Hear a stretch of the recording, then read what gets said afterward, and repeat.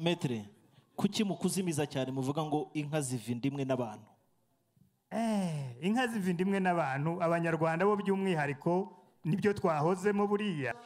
Umva narayagiragiye akavumu mu gitondo nyishora akavuguto nimugoroba impazi ikivuguto ni bwo yabyariye akanyana bitaga inkerereza abanyakazi umukobwa wayibonye mu gitondo nimugoroba aza gutashya gusa nk'iyabyawe na rusengo rwa muvunyi muzacu we manzi uri umukarani utuye mu bwa buzizi. Ngo dore cya kiboko harayuguriye abatindi rugema imbaraga yakigize imbata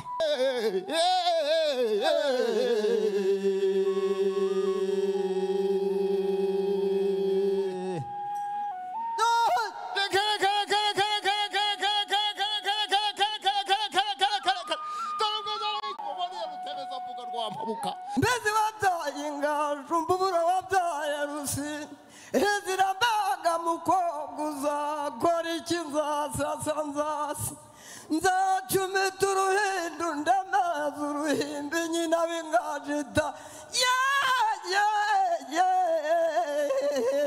zirimo indende ishikuje ishinga ishinze ibyana igasa na rwabugira atabarutse bunyabu. Abavunyi b'inka za rugwe ntibatananya babanye n'imana ntibamarikira abavuza barwingwe n'abaramutsa barweza mbuga rwi. Eh, ngo aduhoza ku ndagano. Rwingwe rero aduhoza ku ndagano iyo ni imana bavuga. Yego. Urakoze cyane. Ngo gusiga ni ugusigura.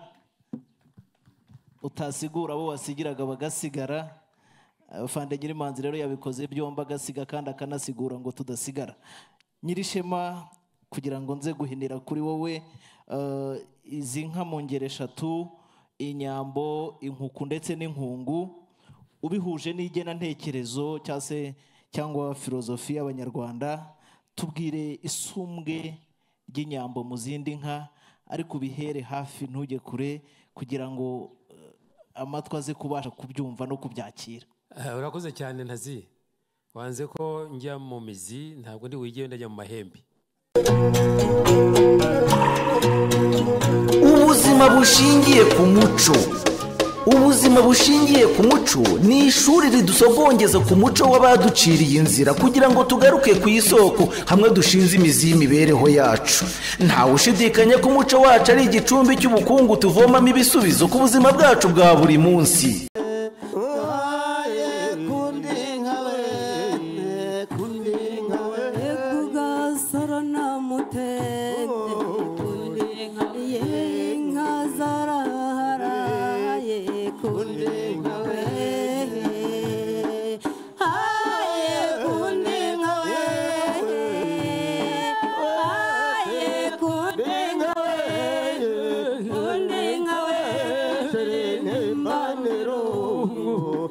Sunday.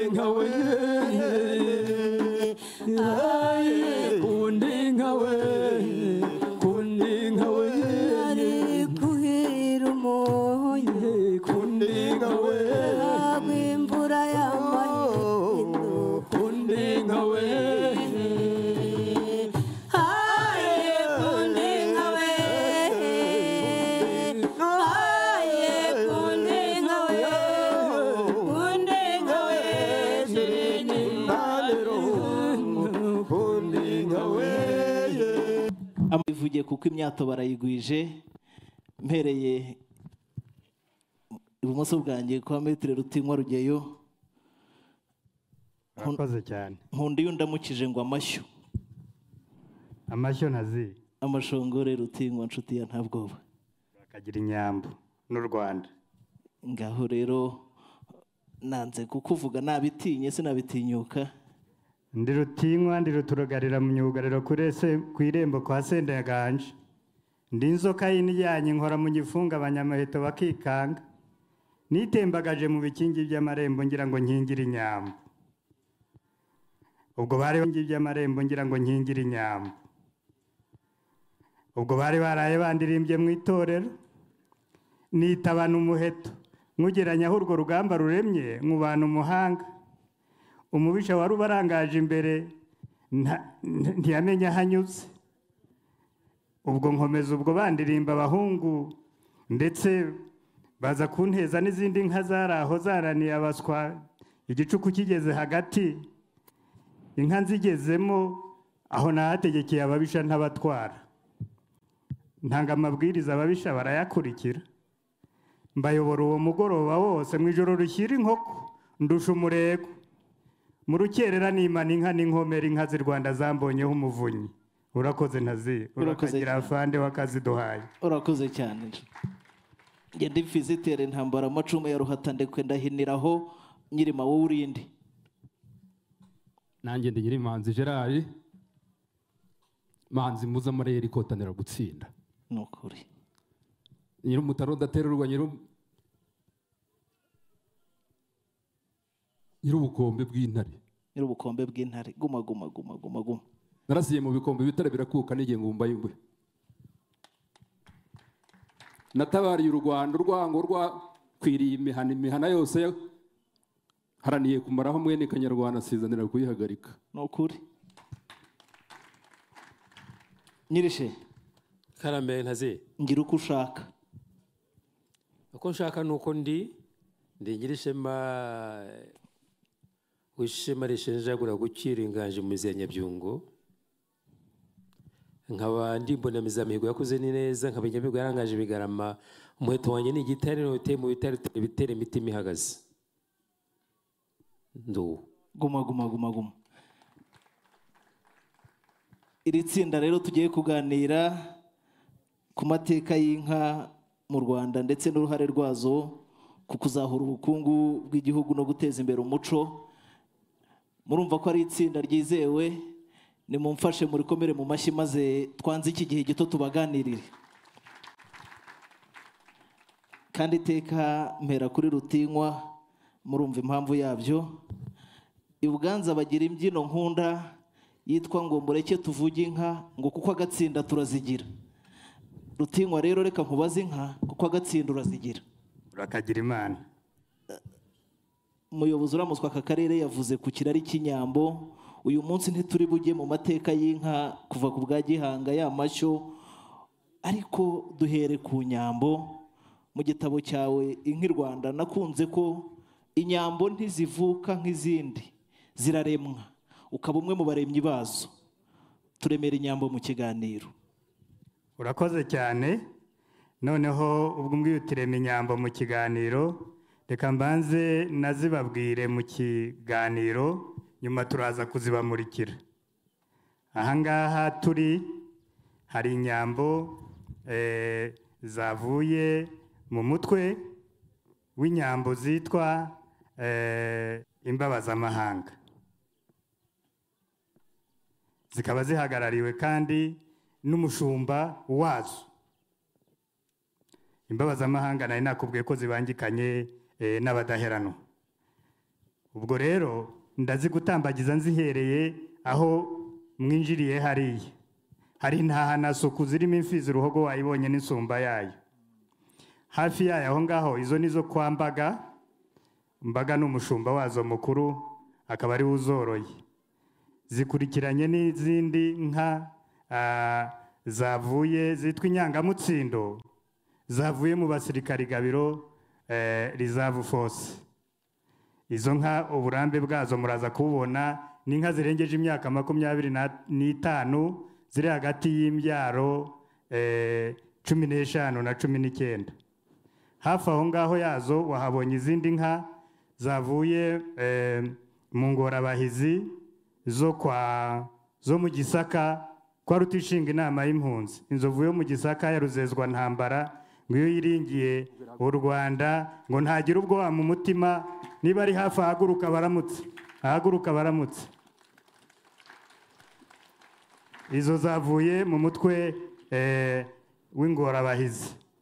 Hari izindi na zo zavuye eh, ku murindi w'intwari eh, ku kiraro cy'inyambo zirimo imfizi ruvuzo wayibonye turaza gukomeza tuyiganiraho ifite n'insumba yayo yayiherekeje y'igitare cy'ingina. Hafi aho ngaho hari izindi nka rero eh, zihari zavuye igako mu borozi b'igako bishyize hamwe b'abanyarwanda izo nka zitwa urwunguko. Impamvu y'urwunguko rero na yo urayizi buriya abacungamari bo hambere ba mbere bacungaga imari mu rwanda bitwaga abanyabyumba abanyabyuma nyuma baza gusimburwa na abiswe urwunguko. Izo nka rero ni urwunguko eh, ni inka z'aba borozi biga ko na zo ziri ahangaha zifite abazihagarariye. Hari inka kandi na zo nk'uko bambwiye kuzibaremera mu mu- nzibabwira hari inka na zo zitwa inka rubanda. Inka rubanda na zo aha hari umushumba wazo mukuru eh, araza guhaguruka baramutse inka rubanda ziri muri rabu mu rwuri rwa karama umushumba wazo ni umudogiteri uri ahangaha ari hariya ahaguruke nawe baramutse yicaranye na rutagwenda hariya. Dogita kirisitine Eh, hari kandi ndamutsa zo kwa muhororo. Nawe ari hariya ahagurutse baramutse izo ndamutsa zo kwa muhororo. Hari izitwa nta kibuzi karagwe na zo zihagarariwe na gemusi nawe yahaguruka akabaramutsa. Hari n'izindi ziri hariya zirimo imfizi yitwa nsinzi ishyaka rero imfizi y'urusa eh, cyangwa rutare eh, ziri kumwe iri kumwe n'insumba yayo y'umukara y'inkungu nk'uko nababwiye ko iyo nkungu ivuka mu nyambo ikavuka no mu nkuku. Ikaba ni na yo ifite ibara ry'umukara yonyine. Iri hano ari na yo nkungu kandi kavukire y'inyarwanda ya kera ya gakondo. Ngira ngo cyangwa se ya gihanga. Gakondo ngira ngo zari ingabo ahari ariko byaragendanaga inka n'ingabo biragendana. Zari ingabo za gihanga. Rero ubwo reka nkomereza aho. Rero nkubwira ikirari eh, ikirari cy'inyambo eh, inyambo nk'uko bababwiye zabaye mu rwanda kuva kera. Ibyo ntitubigarukaho. Ariko turebe ikirari uko zahavuye. Zahavanye n'abanyarwanda mu gihe hari haguye ya mvura ntazinda wambwiye ibihe inka zagishaga imvura ita- itabuze itabuze mu gihugu ni wowe wabimbwiye. Icyo gihe rero zaragishe zijyana nabo mujya mwumva n'indirimbo baririmba ngo izagishe zitashye nuko. Izo rero zigishanya na benyine zo baza kugaruka mu mateka nihutisha muzi mwese ariko ahakomeye ni uko umukuru w'igihugu cyacu afande wari uturangaje imbere muri iryo garuka ku gicumbi cyacu hari byinshi yagiye areba akabona ntabwo twagarukanye na byo. Yaje rero gufata icyemezo cy'uko dushaka tureba neza inyambo z'i rwanda aho ziherereye n'aho ziri. Twamara kuhamenya izo nka ah, zikagaruka mu rwanda zigasanga bene zo. Ibyo rero yabishakiye abantu b'abahanga b'abanyarwanda batandukanye ngira amahirwe ngira imana nk'uko uyu mugabo yakomeje kumbanza mbabamo dutangira rero icyo kirari dushaka aho inyambo ziri. Turihuta ariko inyambo nagira ngo nongere mbabwire ko n'inka z'u rwanda zikomeye abanyarwanda bakaziha inshuti. Ntabwo baziha uwo bashakaho ubucuti baziha inshuti baziha uwo bakunda. Ndetse kikaba igihango gikomeye cyane. Tugeze mu bihugu by'abaturanyi aha rero twageze mu nkore tuza gusanga ah, inyambo rwanda rwera. Ahantu hitwa rwanda rwera umwami wari uhari icyo gihe witwa gashyonga ni ho yazihaye urwuri. Izo nyambo zari kumwe na ruhanamirindi umutware w'inyambo z'umwami wajyanye na zo muri urwo rugishiro rutari rwabuze imvura. Bazihurguraho bikomoka kuri cya gihango rero mbabwira na kwa guhabwa inyambo kw'i rwanda baziha umuntu ukomeye nk'impeta iruta izindi. Bakaziha bakunda babitseho igihango si ukuziha uwo bashakaho ubucuti. Reka da ubwo nubwo wazisaba byakugora. Byakugora biva kure ijambo rivuga inka burya riva mu nkanka ntabwo riva hafi aha ngaha. Ugukoze mu nkanka muzi uko bigenda. Inyambo rero hari umwami rudahigwa mutara yari yarahaye uwo mwami gashyonga wa nkore inyambo eshanu n'imfizi yazo. Mbere y'uko zijya muri urwo rugishiro u rwanda rukiri u rwanda. Eh, nk'uko nabibwiwe n'abasaza bazakiriye adiriyane sibo n'umusaza gafura nibo bazakiriye bari bahagarariye umwami wa nkore icyo gihe. Ndetse n'umusaza wari uziragiye w'umushumba witwa kagibwami ariho ari hariya mu mutara nawe niko yabimbwiye. Amaze kuzimuha rero haciyeho igihe kirekire ziza kujya muri urwo rugishiro aravuga ati igihango nahawe n'u rwanda. Ntabwo inyambo inyambo z'umwami zivuye i rwanda. Muzihe urwuri rwanda rwera. Naho bahisemo baziha urwuri ye kuzirebera zigaruka mu rwanda. Uwo ni umutwe wari hamwe. Hari izindi zari zaragiye mu mitwe itandukanye na zo twarazikurikiye ikirari cyazo tugenda tugera aho ziri. Eh, turazihasanga izavuye mu muhozi n'itiro hari izavuye mu ngeyo hari izavuye mu zogeye izo zo kwa ruhanamirindi hari n'izindi zavuye kwa kamirindi nawe yari umushumba w'inyambo waragiraga inyambo z'ubugondo gusa. Izo na zo twarazibonye aho zari ziri. Ariko ntizari ziremeye hamwe nk'izo ngizo. Twabonye ariko n'izizikomokaho. Twabonye n'ibyishimo bikomeye nta gisa nko kugira icyiza cyawe n'abandi bakagikunda. Twasanze inka aho ziri mu karere baraziyitiriye.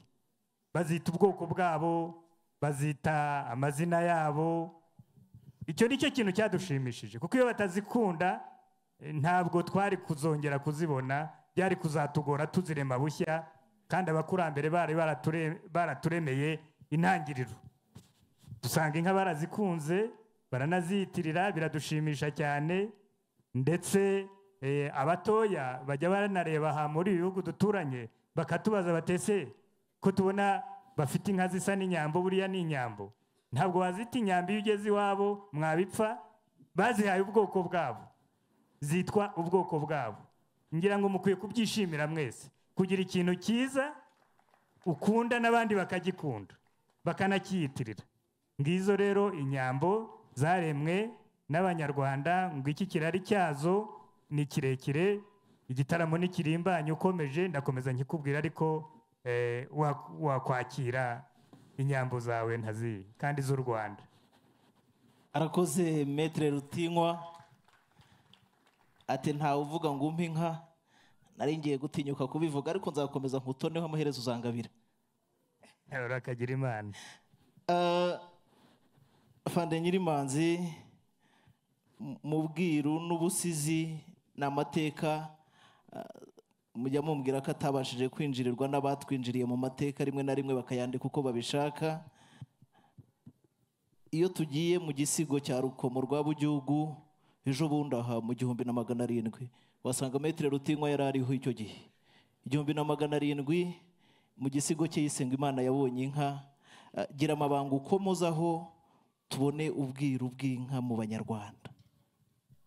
Urakoze cyane kuko rukomo rwa bugihugu ku ngoma ya mibambwe sentabyo mu gisigo cy'icyanzu cyiza cyane agira ati imana yabonye inka bivuga ko imana ariyo soko y'ubukire mu gihugu.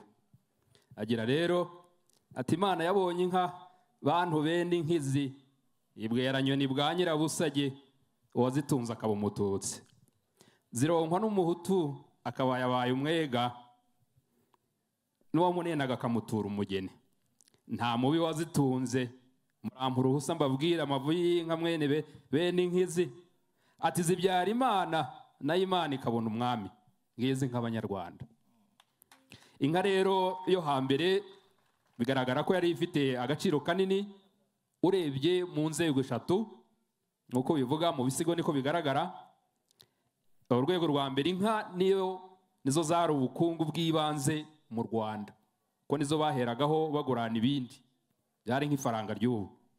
Cya kabiri cyerekana agaciro k'inka ni uko ari zo zaheshaga icyubahiro uzitunze. Umuntu wese yaharaniraga ko umuherwe w'ubu ngubu w'icyo gihe ni uwari ufite inka.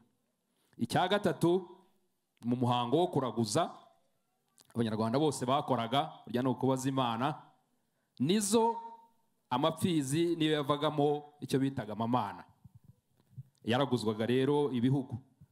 Waraguriza ikindi mu muryango cyangwa ya- eh, umuntu ku giti cye ariko waragurizaga igihugu yakoreshaga amamana ari zo ah, imfizi ntoya Ah, umusizi wa kabiri ndetse uza mbere ya bukombo rwa bugihugu ni umusizi witwa nzabona ariwa uzwi cyane ku ntebe y'abasozi kiruri kubera ko yasize igisigo cyitwa inka zigira inshorera.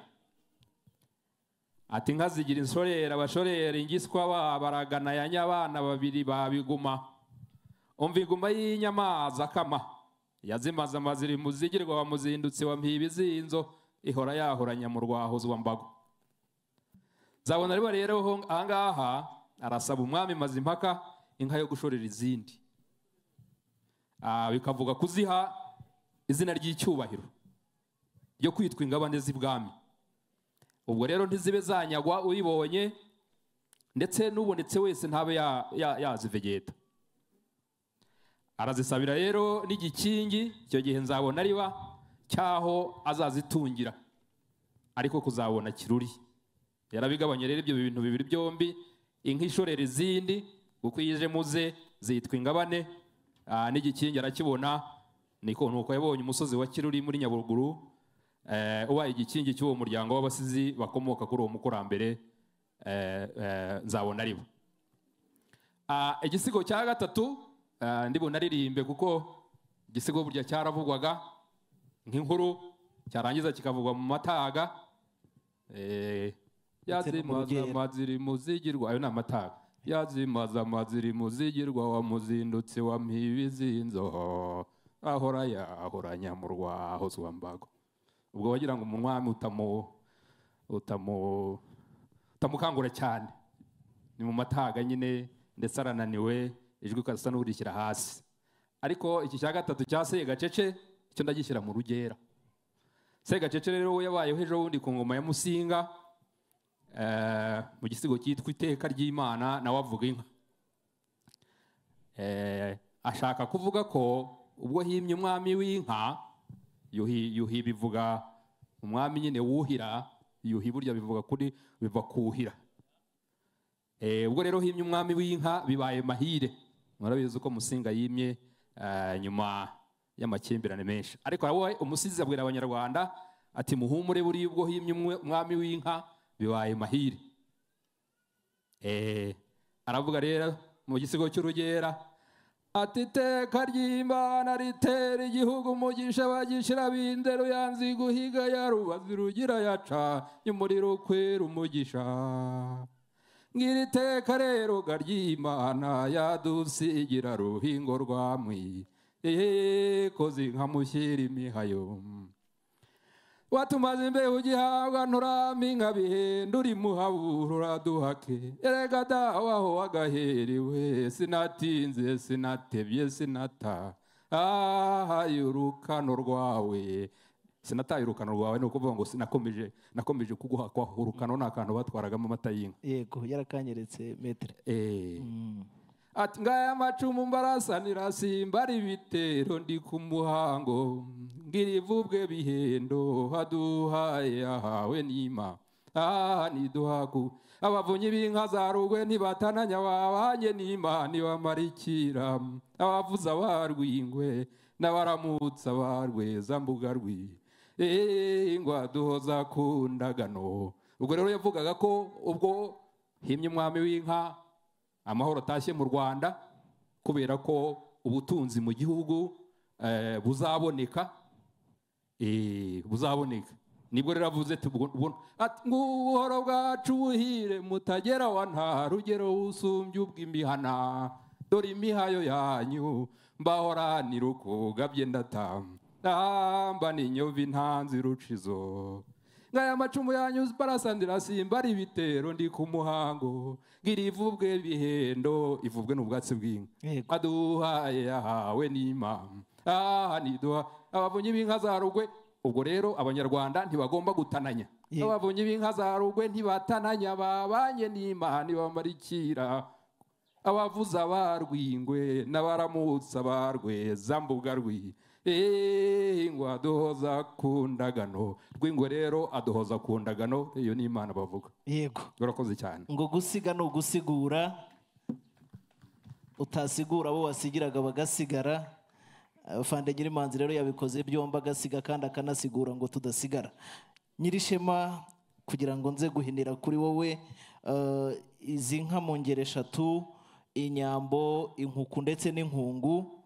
Ubihuje n'igenantekerezo cyangwa se cyangwa filozofi y'abanyarwanda tubwire isumbwe ry'inyambo mu zindi nka ariko ubihere hafi ntujye kure kugira ngo eh, amatwi aze kubasha kubyumva no kubyakira. Eh, urakoze cyane ntazi. Wanze ko njya mu mizi ntabwo ndi wigiye ndajya mu mahembe. Sibyo? Amahembe y'inyambo muyitegereze kuri iriya shusho iri hariya cyangwa muze kuzireba mu bwiru bw'u rwanda bavuga ko ashinzwe imisamisango ibera mu isanzure. Munyumva neza ni imisamisango ibera mu isanzure. Ntabwo ari misa nk'iyo bajyamo ya kiliziya. Iyi misa umusa. Imisanzure riri isoko ya byose na bose na twese ari amahembe y'inyambo niyo ameze nka ntene iduhuza n'ibyo byose. Ikatumbira mu ihame rya rimwe. Aho byose ari bimwe ari rimwe. Noneho rero niyo mpamvu zahawe n'ububasha mwakuje kumva ngo imana yabonye inka. Muri byose nk'uko twavuze ku mugoroba inyambo cyangwa se binyuze muri ariya mahembe yazo niyo aduhuza n'isanzure imana niyo yabikije amabanga yayo ku isi. Inka. Ikizakuraho ihame ry'iryo rimwe rero inka irakimenya niyo mpamvu abami bose bazengurutsaga imisozi ari zo zabayoboraga aho uko u rwanda bakibona uko zihatungutse bakanayishakira imitsindo n'ubundi igatangwa n'inka. Icyo twavuze rero n'ubu tukivuga ni uko inka yazaga bazizanaga izo ngizo z'inyambo rimwe sinzi mu myaka cyangwa niba ari buri mwaka cyangwa ari igihe runaka na byo tuzabireba tuzabivuga bakazimurika. Icyo bagazimurikiye ni iki? Bazizanye ibwami. Twabibonye bigatangira ku mugoroba w'ibyiza twabayemo noneho bigakomeza bukeye ariko kuri uwo mugoroba abantu bose bakarara bejejwe abatware bakezwa abiru bakezwa abanyarwanda bakezwa biturutse mu musore w'umugenda eh, n'umwangavu w'ikari twabivuze u rwanda rukezwa. Ruba rwerezwa iki? Kugira ngo bukeye bose bakire ya mitsindo. Inka zibitse. Abanyarwanda bose bagira uwo mutsindo ube muri bo.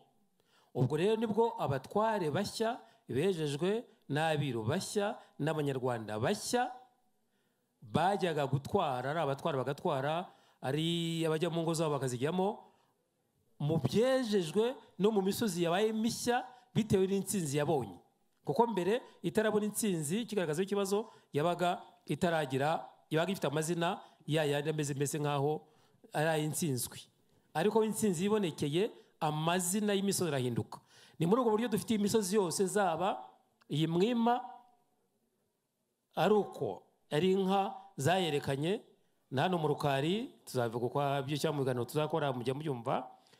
Imisozi yose ikikije aha ngaha kugera za save kugera za gito kugera za sakara kugera kigali ni inka zayerekanye kandi zanatanze intsinzi byagomba kuzatungukira. Ntibiba ako kanya ariko igihe kiragera twaba tukibona uko byagomba gutsindwa kuko hari ikintu byagomba guturuka mu rwanda riturutse ku bukari hazwi nuko hatsindwa. None mwavugaga rero ngo inyambo ziheruka kumurikwa hano ngo mu mwaka wa kangahe? Muri mirongo itanu n'icyenda. Muri mirongo itanu n'icyenda. Dore ikintu iri banga rihishe rero ibyo. Ni ngo imitsindo abanyarwanda baheruka gukura mu nyambo ikomoka ku mana muri uko kumenya kw'inyambo. Niyo abantu bahunganye buriya bahunze. Niyo abantu bagendanye abasiga basigaye cyarageze ubu kuba turi aha ibi tuvuga imigambi dufite ni intsinzi yanyuze mu nka yatunyuzemo. Ubu ngubu tukaba ari aha ngaha niba tubyemera nyine ubwo tukaba turi mu misamisango iduhuza n'isanzure. Yego. Urakoze cyane. Urakoze cyane nyirishema. Ku bw'ikirere muranyemerera iki kiganiro ngihinira aha kugira ngo tumurikirwe izi nyambo n'ubundi ngo si intati kandi ntizigeze ziba intati ngo ni interabuntu ngo zokotse mu bicu ngo zigakura imbishya ku mutima zigatera imbiribiri ku mubiri. Ngo n'uwabaga zitunze atarazitunze umutware yamuturaga umugeni. Mureke tumurikirwe izi nyambo. Reka mu munota umwe rutinywa azihuze n'abantu maze noneho tuzimurikirwe. Murakoze cyane. Eh, hari uwakwibaza ati mu rwanda rwo hambere uwabaga adafite inka byagendaga bite? Cyangwa no mu rwanda rw'uyu munsi? Abanyarwanda bari bafite ibyo basangiye. Mu buryo budasubirwaho. Ni inka z'i rwanda. Baciye n'umugani baravuga ngo n'utatunze inka yabonye izaje kumwonera. N'imvuga izaje kumwonera ntimugire ngo nizamwoneye amasaka. Amategeko yariho mu rwanda umubyeyi w'i rwanda iyo yabyaraga ngereranyije n'uko abantu batuye ubu ngubu abantu batuye umudugudu arimo n'abamuzi mu kagari. Bose bari bafite inshingano zimukamira iminsi munani. Iyo minsi munani ntaho yajyanaga icyansi gukamisha barakamaga inka bakamuzanira amata. Ayo mata rero murumva uwo mubyeyi ntiyashoboraga kuyanywa yabaga ari menshi yaracundaga agacunda akabika amavuta akazaba afite amavuta y'inka kumara umwaka wose yongeye kubyara. Muzi ko abanyarwanda babyaraga bakurikiranyaga abana buri mwaka. Umwaka amavuta yagira ngo ageze igihe ashira mu isimbo yayo akaba arabyaye. Bakongera kumuhemba. Akabona amavuta y'inka. Kugeza igihe umunyacyubahiro uzaciwe nka meya w'akarere yahanyura atari bwicare kugira ngo amumenyeshe ko iwe biyubashye amufungurire akamubwira ati rega unyure hano tugufungurire inka zaranyoneye. Ikimenyetso cy'uko mu rugo rwe hari inka hari amavuta y'inka. Ubwo rero akagaruka bakamufungurira ntabwo iyo babaga bamubwiye gutyo ntabwo yashaka kugenda ni nko kukubwira ngo baguhe amata uti ntayo nshaka. Ntabwo byemerwaga. Waragarukaga wa muturage wawe mugufi akagufungurira akaba agize amahirwe yo gusangira nawe. Nta handi yari kuzakubona. Akuboneshejwe n'uko inka zamwoneye kandi akaba abikubwiye ko ziri mu rugo rwe. Murakoze reka dukomereze aho nagira ngo mbanze mbahuze mbere ku kuntu buri munyarwanda wese ariyo mpamvu inka y'u rwanda wayikoragaho ukaba ukoze ku munyarwanda. Metere kuki mu kuzimiza cyane muvuga ngo inka ziva inda imwe n'abantu? Eh, inka ziva inda imwe n'abantu. Abanyarwanda bo by'umwihariko ni byo twahozemo buriya. Abanyarwanda by'umwihariko kugira ngo umuryango w'umunyarwanda utangire utangizwa n'inka. Imfatarembo inkwano twabihozeho. Eh, hakazaza inka y'urugori. Umubyeyi ajyanye umwana iwabo. Hakazaza indongoranyo. Eh, inki bakoye ibyaye gatatu. Hakazaza n'izindi nyinshi ubwo ni mu muryango zituma umuntu ava inda imwe n'inka. Ariko noneho mwene nyoko burya n'uwo musangira ibere. Buriya rero inka na zo dusangira ibere. Kandi mu- bigakora mu binyejana byatubanjirije byinshi biri imbere. Ndetse nkavuga ngo ni mukuru wacu kuko zo zibanza no ku ibere twebwe tugakurikiraho. Inyana nizo zidusigira ntabwo ari twe tuzisigira. Ibyo rero bigatuma umunyarwanda ava inda imwe n'inka hari umugabo wo muri irilande nawe wambwiye ko niwaba ari uko yambwiye ngo afite ibisekuru niba ari umunani. Ari kumwe na ambasaderi hariya yaje kumbwira ko bamaranye inka ngo uriya yicaye inyuma ya ambasaderi uriya mugabo uri inyuma ye neza mu bitugu yambwiye ko inka iwabo muri irilande afite ibinyejana niba ari bigeze kuri bitandatu by'ubworozi wabo ati natwe tuva inda imwe na zo niko byagenze. Ati nuko byari bimeze. Murakoze nuko inka rero ari mwene nyina w'umuntu murakoze. Munyemerere dusoza iki kiganiro dushime dushimitse nyakubahwa perezida wa repubulika wagaruye inyambo mu rwanda akaduha impamvu y'igitaramo cy'uyu munsi ndabashimiye.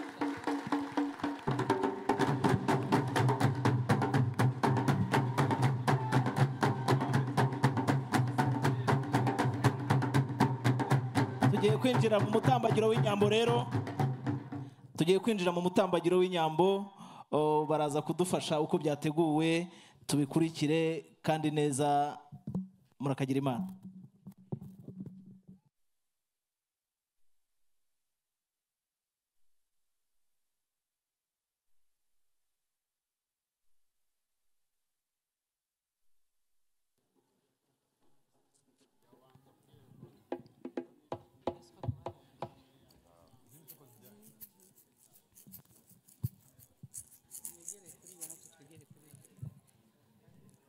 Nyambo, what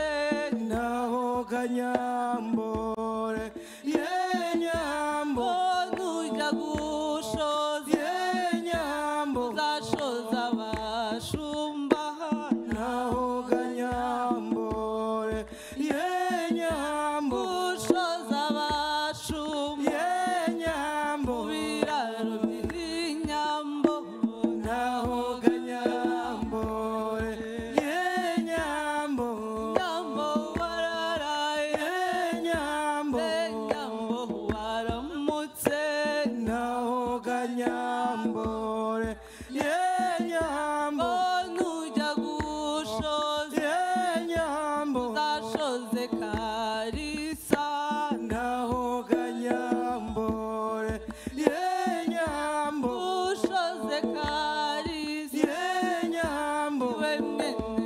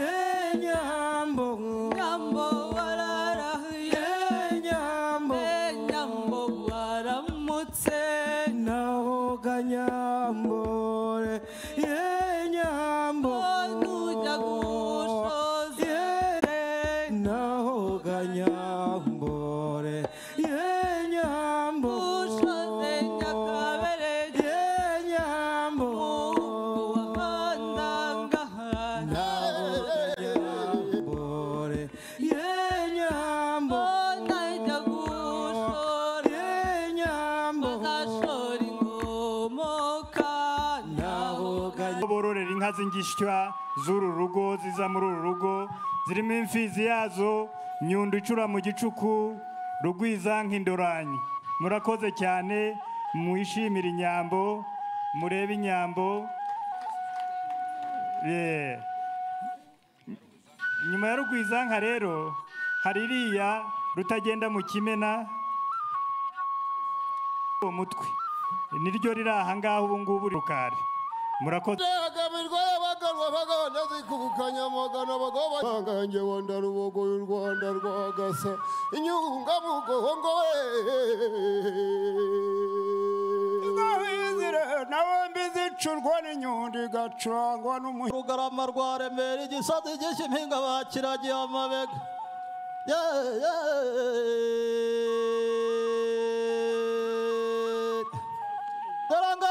acumitisha amatwi amahembe agakeba imanzi imana y'inka igahumuriza ubukombe ragana yose ruhimba n'abazibanye urugangazi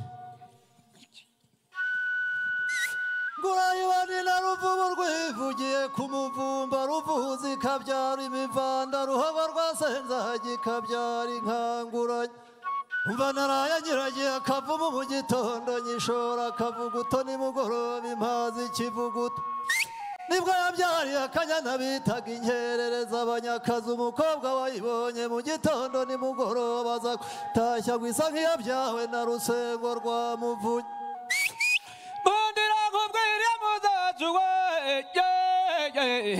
manzi uri umukarani utuye mu bwa buzizi.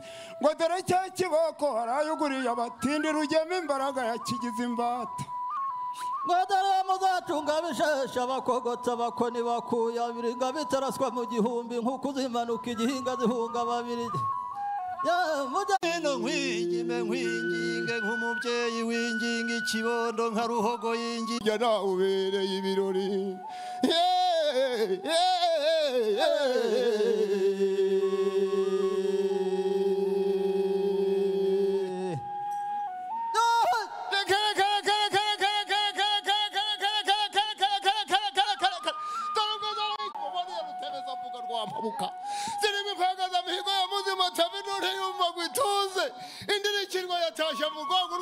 rwamo rwasanganiye impeta impundu zakwiriye mu gihugu. Bavuga ko haje umuhozi. Maze zirayakaza ntiyaganda zisumbuye ibihame zihanije abarasi. Abamurukari banyuzwe n'abateze utunze banyuzwe barangamirwa nyamibwa ndahamagaza rutebera zambaye iyo ni urwa mirindi yashyira zakubye umugera bikiri n'abahera mu mihereke rwamo basigaye bayirimo. Maze zigisakiranye zirusha inkongi iravuga inkera mihigo barakoze cyane. Batari muhamagaza rugaragara zumva umugambi batari ubwabo ko zakugize urugangazi zirimo inkumburwa iteye akangari dore bahamagaje inka zimurambi maze umwimira ntiyazikerereza impundu zavugiye karambo na muhazi. Bati nimutuze muhumure muhazi muyiharire imvubu. Bati muhazi muyiharire imvubu maze inyambo zibahaza umuhondo zifite amaso aharamba isuku zifite amahembe aharamba ijuru zifite n'amarizanya zikebutse nyirazo rwogera n'ikamba ya moringa n'ishyari ryirukanye ubwiza n'ijana ritashye ubuhoro n'inyamibwa idakumirwa n'urwamu bati nimukome urwamu nimusubire ku mariba inkotanyi zagaruye amata mu gihugu kagame zihozaho urugwiro ndacyutse inka kagame bwanga bwa bwa nyirigira ituma amajyambere azijya imbere iyo niyo rugogomera nkiko ni inkusi y'imihigo. Dore isonga y'ingabo nziza. Yahanaguritse ikiri umwari n'ubu ni umuhimbo w'itanga bayihaye umushishiri irishima bayihaye irabirabagirana bayihaye ibyambarwa by'imiringa bayiha ibyasi bisa n'ibyera bayiha umaniramo irere bayihaye umanziramo irere ziyicyutse ziyita rwamuhi reka mpamagaze inka ya kagame rutayobera nazambaye inkindi urwamirindi yasheraga zakubye umuye n'abaragiye igisumbi n'abaticareye igisuzuguriro impundu zizicyura iruhanga maze abahiriwe n'ibirori nabo barahahama buriri murakagira kagame n'u rwanda murakagira iharabana arakoze rugendo ntwasi reka twumve aba babyeyi b'i buganza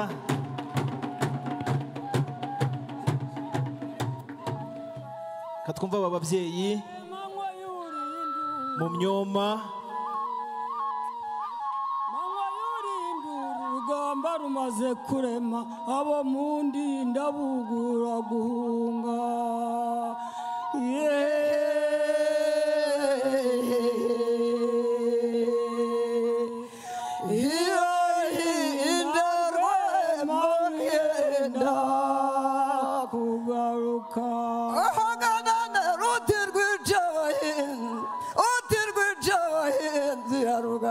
가지고 연애 배대로 가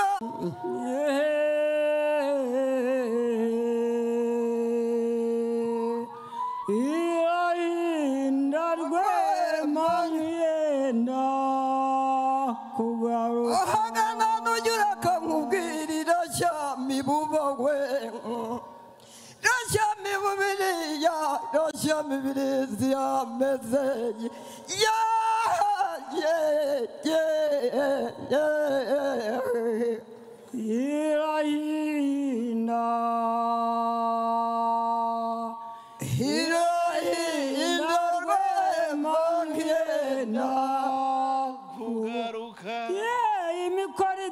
ingimbi ya runyurampunzi nayisanze rwamikwirenga hareba ikarenge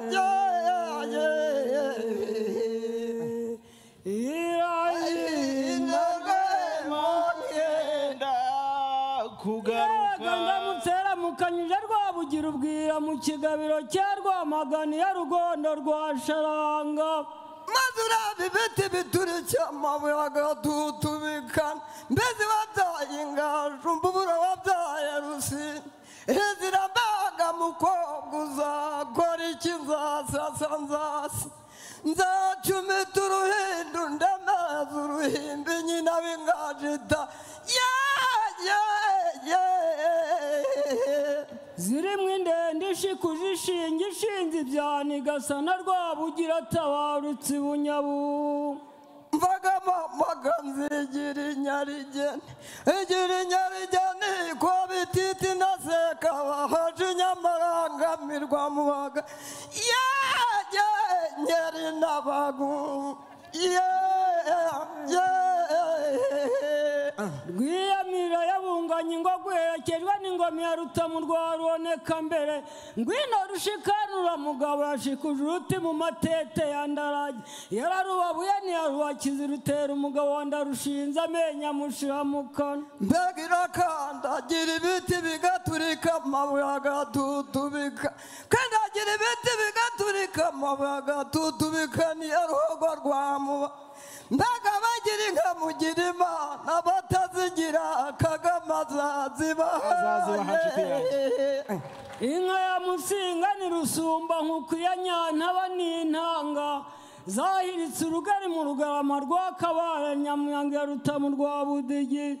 Kagame mugira amararo gira amararo ugira yabaye mpabuka yambitse izi nyambazi iwacu zikamirwa bareshya n'abarebareba yaraga mwababyeyi munywa amata mwishime kagame yaduhaye ntibeshye rugina rudakorwa mu mugara yakoze intambara inka zarishije ku ruzi rwa sage yari kumwe n'indi wari hatse ibigarama ibiganiro ibinganya na munyuzangabo ya rukomane rwa bandora mamaga yazindutse nazindutse kareka zindutse kareka wajyanigira guhingira rwawukimba rwa muri hano nagarewe mvubu mvubu wivugiye ku muvumba ruvuza ibyaro banda abagore beza bayisanga zizi bisaba impundu ziravuga baraga. Uwaminka yamenda uwangura yanjyana ndagiye bigari ndi nkumwe n'inkuba ntibagwaguza yabyaye rukinga rwa kiro. Bayihaye akanyana kayo kitwa rubunduku rwamuranguza wa ruki umunsi yabyaye umukobwa hazaba ibirori yego nyamba ikirunguwe yezi ye nyambo. Bongo nyirabasare.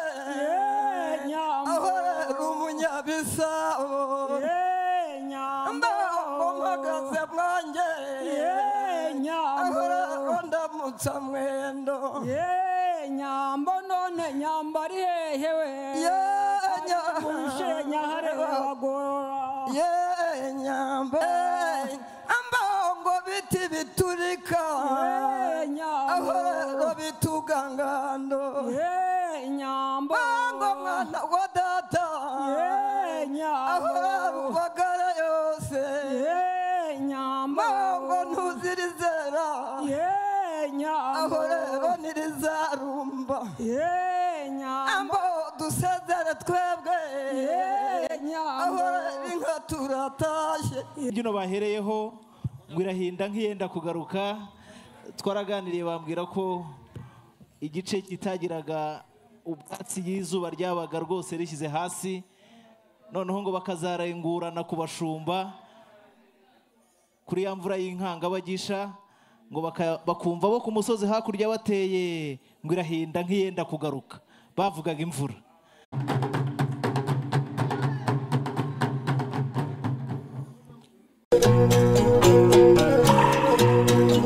Ubuzima bushingiye ku muco. Ubuzima bushingiye ku muco ni ishuri ridusogongeza ku muco w'abaduciriye inzira kugira ngo tugaruke ku isoko hamwe dushinze imizi y'imibereho yacu. Ntawe ushidikanya ko umuco wacu ari igicumbi cy'ubukungu tuvomamo ibisubizo ku buzima bwacu bwa buri munsi. Ahari uzumva ubutumwa butandukanye n'ubundi. Uzumva umwuka w'ubuntu wongeye kugaruka muri wowe. Uzongera kumva icyo kuba umuntu w'i rwanda ari cyo. Uzongera kumva iki kintu cy'i rwanda ari cyo. Iby'imbuto nkuru z'u rwanda abantu barinda ubuzima bwabo. Uburo amasaka isogi n'inzuzi. Kurikira ibi byigisho maze ukiranuke n'ibikubuza amahwemo. Nta muntu uratugana avuga ngo yagize ikibazo cy'amarozi uko yaba ameze kose. Bibi biryano bibi bitegano bibi bitongerano bibi bihuherano ngo maze ntitumenye uko tumugenza. Oya ni ukuri namaze imyaka ibiri mva mfite n'ikibazo cy'umutwe ukomeye n'umugongo ariko ubu ndi muzima rwose. Amavuriro yose narayirukanse ngarutse mu by'iwacu nisanga nkizi icyago nari. Nibaza rero ko urugendo rutanga rw'amaboko yakoze ari ukubanza kumenya ikibimutera ubuvuzi twatangije ni ubuvuzi buvura umuntu uko yakabaye wese nyuma y'igisobanuro gishya cy'umuntu. Kuko nasanze abakurambere bacu bari bazi umuntu no kurusha twebwe tuvuga ngo twaramwize. Bakamenya imigenzo bari bukore kugira ngo babe bamuremye mu ntekerezo mu mwuka we mu mubiri we aba ameze neza. Ndavuga ngo umuntu n'indi atandukanye ubugira kabiri? Bwa mbere nawe ubwe. Kuko ni inyabutatu agizwe n'umwuka intekerezo n'umubiri. Iyo umugabane umwe wakozweho umuntu uko yakabaye wese aba yakozweho. Bwa kabiri umuntu n'indi atandukanywa n'umuco. Muzumva ko mu buzima burya nta kibazo kitagira igisubizo. Bagaragaje ko nta buganga butagira ubugangahuzi nta bisare bitagira amasubyo. Eh. nta joro ridacya nta marozi atagira ikirogora nta kuzinga kutagira kuzingura nta kibazo na kimwe kitagira igisubizo. Nabigaragaje mu mabara makuru y'u rwanda umweru n'umukara.